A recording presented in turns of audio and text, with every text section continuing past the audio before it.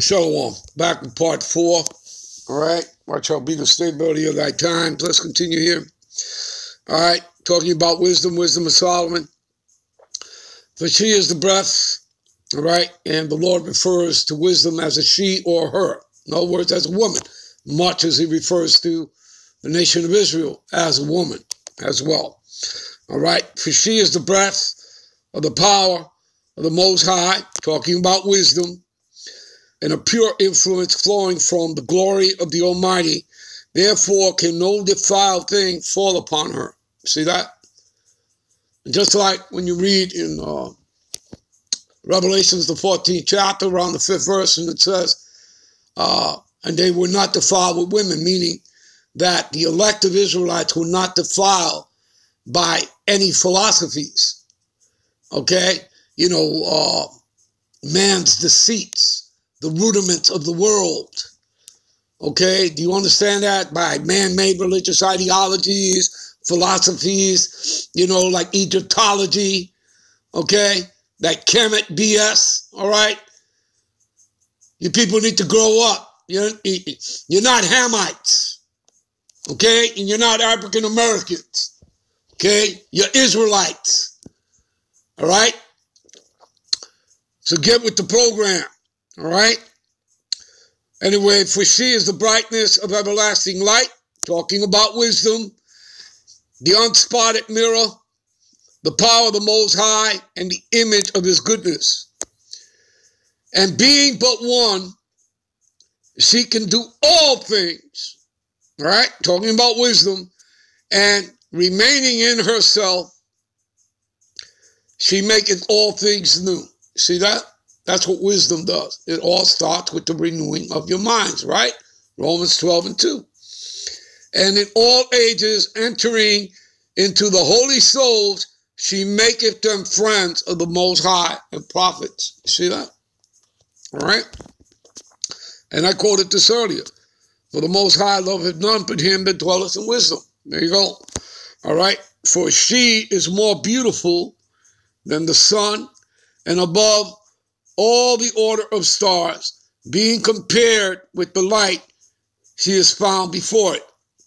For after this cometh night, but vice shall not prevail against wisdom. See that? You understand, people? You get it? All right. Let's uh let's move on. Let's jump to Proverbs. Give me a minute.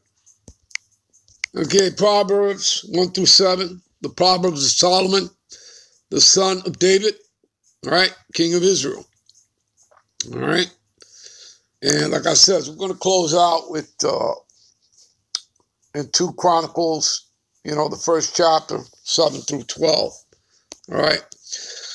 And, uh, you know, probably I'll do that right after we get done, you know, with this, or maybe I'll give you a few more. We'll see.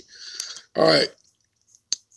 Uh, verse 2 To know the wisdom and instruction, to perceive words of understanding. We looked that word up in the blue letter. You people know what that means. All right. To receive the instruction of wisdom, justice, and judgment and equity. And that's what we're doing. Okay. Receiving that. Again, we're being prepared for the kingdom.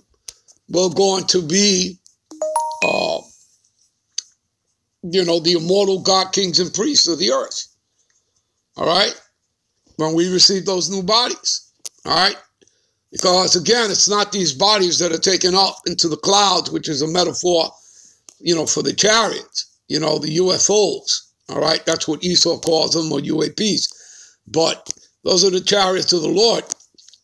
And it's not these bodies. These bodies are not taken up. It's our spirit that are taken up, all right, by the angels to receive our new bodies. And then within a twinkling of an eye, we shall all be changed. You understand? All right. All right, to give stability to the simple, right? To the young man, knowledge and discretion, right? These are, these are all the things, like a lesson what I'm doing right now, all right?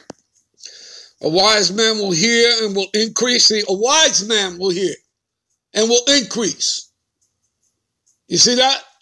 So he'd have to be wise first. In other words, he has to take heed to the word.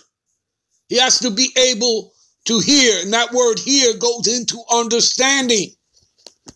Okay, so he has to be able to understand, to have what? To perceive, to have insight, to have discernment. All right?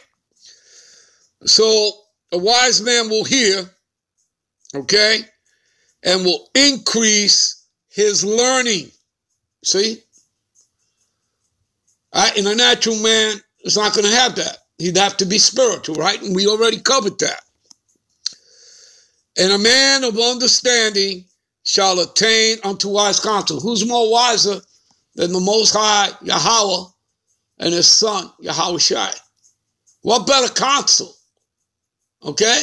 And that's where we dwell. And again, an example of that. Give me a minute. See? Psalm 65 and 4. Blessed is the man whom thou choosest, right? Whom the Most High has chosen. And I already told you how that works. You were chosen as spirits, you know, certain men in Israel, amongst Israel.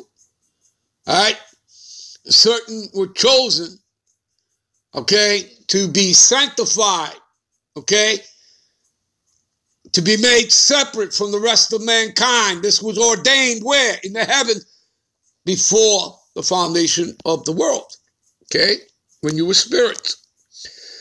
And he causeth to approach unto thee that he may dwell in thy courts. In whose courts? The Most High's courts, you see?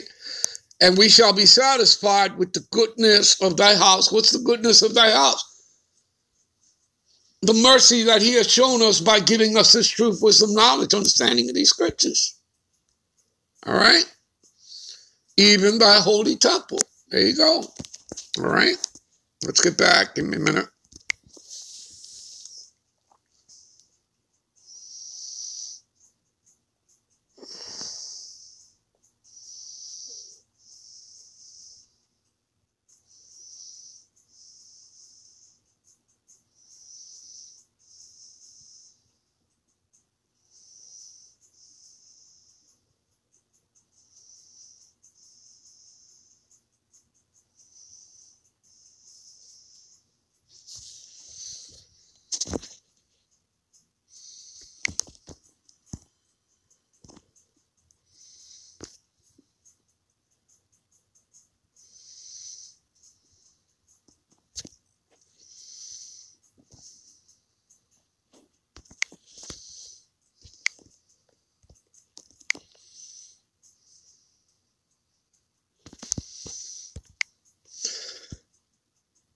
All right, I don't want to spend that much time, you know, uh, much longer.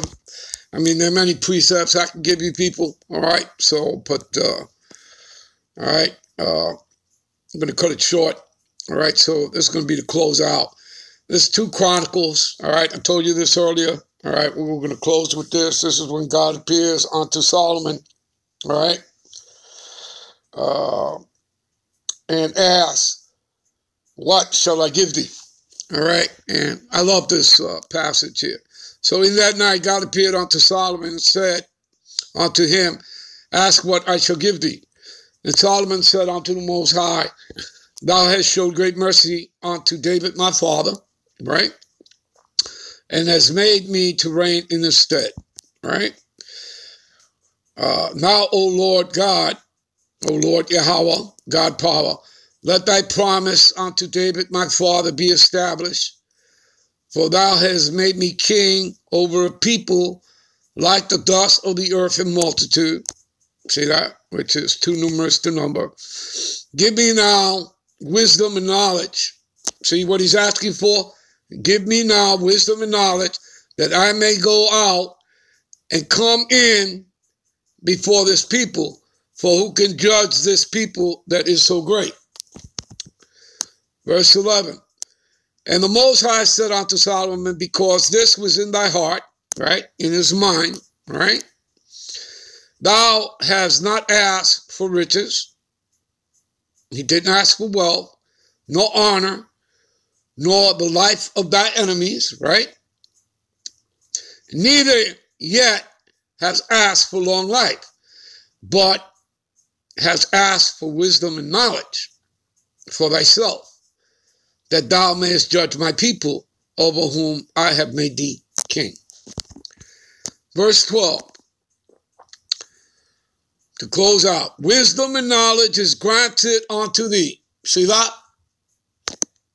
Let's continue. And I will give thee riches and wealth. These are things he didn't ask for. And honor, such as none of the kings, right, have had that have been before thee. See that?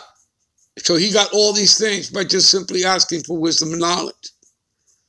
All right? And all these other things were given unto him. Neither shall any after have the light. See? There you go. All right, people. I think you guys get the point. All right, how important, all right, wisdom and knowledge is. Again, wisdom and knowledge shall be the stability of thy times. What times? These times.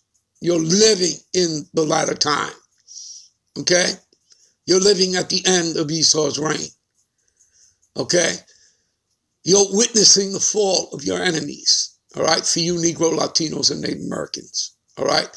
You're witnessing the fall of your oppressors. Okay?